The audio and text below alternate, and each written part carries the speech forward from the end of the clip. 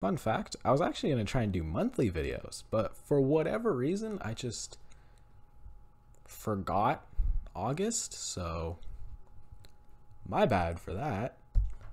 I know you all very much so missed hearing me ramble, so you're getting it now. So it's been no secret that the MCU has been building up to a Thunderbolts project as of late. I mean, everyone knew it, even CBR, and they're the worst.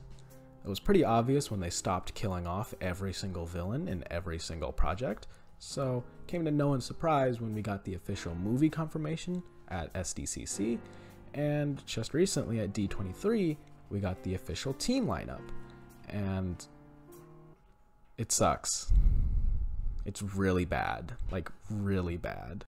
The Thunderbolts roster that they showed off consisted of Val, a boss who will presumably be working exclusively behind the scenes, Ghost, someone with pretty unique phasing abilities, Red Guardian, a master martial artist, Yelena, a master martial artist, Bucky Barnes, a master martial artist, US Agent, a master martial artist, and Taskmaster, a master martial artist.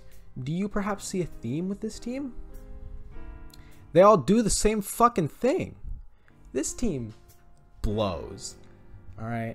There's one person who can do something different from everyone else. Everyone else is just Captain America rough off and also like a super spy. This team sucks. That's not even including the pretty notable exemptions from the team, like Zemo. Zemo's kind of a famous leader in the comics, and uh, he's alive in the MCU. He's kicking. He's in the raft. I don't really see a reason why not to put him on there. I know some people have said, "Oh, well, he hates superpowered people in the MCU, so you shouldn't put him on a team full of superpowered people." But that's kind of exactly why you want to put him on a team full of superpowered people, no? Make him uncomfortable. Make him make everyone else uncomfortable. And that's not mentioning Abomination, who, spoilers for She Hulk, alright, seemingly is fully reformed and out of prison. At least at the time I am making this video. The whole show isn't out yet. So maybe the events of She Hulk prevent him from being in a Thunderbolt movie. Fair enough. But like, still, Zemo, Justin Hammer. Justin Hammer would be a great addition to the team. Why is he not on here? Seems like a weird exemption as well.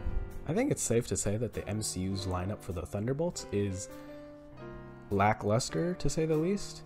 I've even seen some MCU diehard stands say something along the lines of, oh, I'm sure the movie will be great, but this is kind of a boring lineup.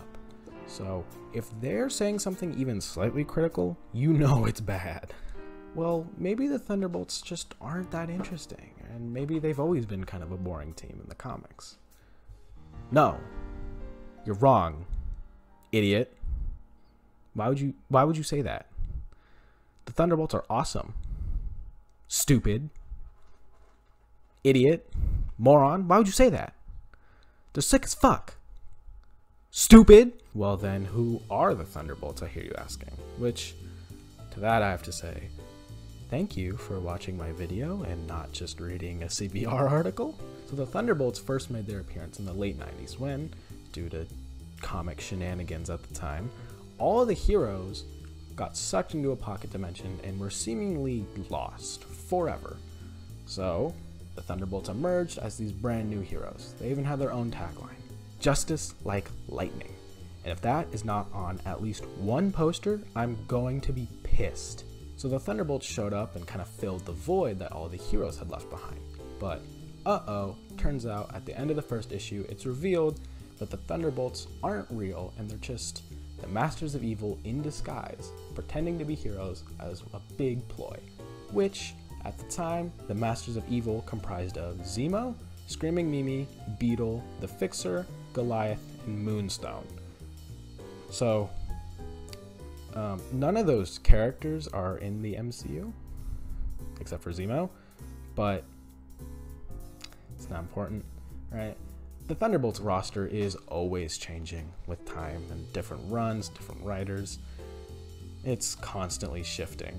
Some of the most notable members over the course of the years would have to be Luke Cage, Crossbones, Punisher, Deadpool, Red Hulk, Elektra, and so many more, but you get the point.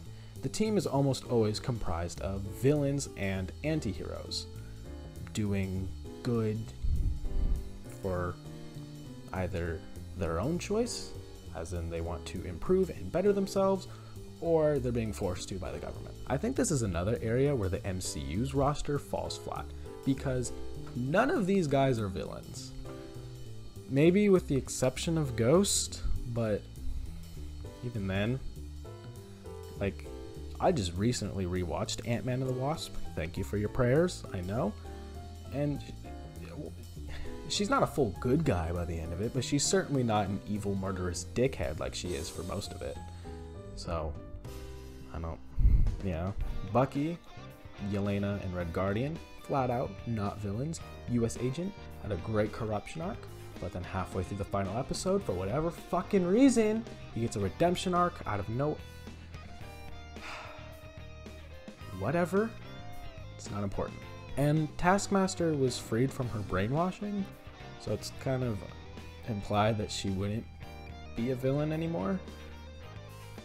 So, this team is not comprised of villains, it's just side characters. The thing that separates the Thunderbolts from every other team in Marvel is that they're a group of bad guys who, through their missions, learn to grow as a team and learn to grow into proper heroes.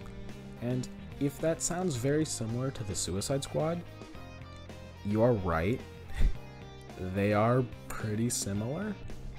I don't think removing the whole redemption path for all these villains in order for them to grow into better heroic figures is worth it just so we hear people call the Thunderbolts Marvel's Suicide Squad a little bit less. That's already been happening, and besides, what makes these teams different and distinctive is that, well, the team, the team members, the roster, the lineup, the dynamics between all of the characters. That's what makes each team special and distinctive from one another. Imagine if DC was like, oh, we're actually not going to make a Justice League movie because Marvel beat us to the punch with the Avengers films. Though, given the current state of DC, I wouldn't put it past them. The dynamic between the characters is so important, both with internal conflicts and external conflicts. So, power diversity, this team sucks.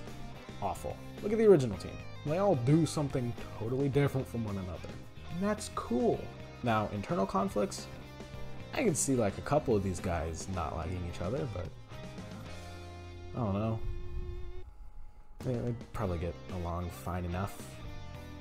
Good enough for the mission, at least, which is not what I want. I don't think anyone wants that. Imagine just adding Zemo into it. And yes, I am a huge Zemo fan, both in the comics and in the MCU, but just hear me out. His utter hatred for superpowers would make everyone else feel really uncomfortable. That'd, that'd be perfect. Imagine if the team fails a mission because they can't get along. That is exactly what we need. And that's a very natural reason for these characters not to get along. We know Zemo's not going to like these people, right? We already know that he doesn't like at least one of them.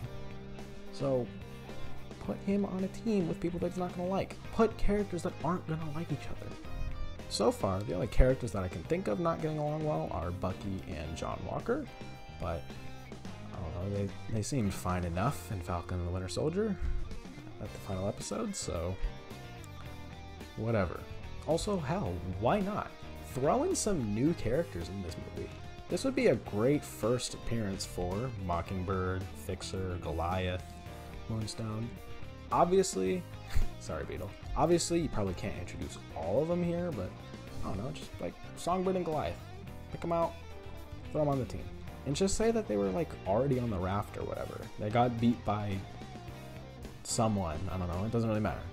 They lost a fight in between movies and they got thrown into prison. And now they're here, right?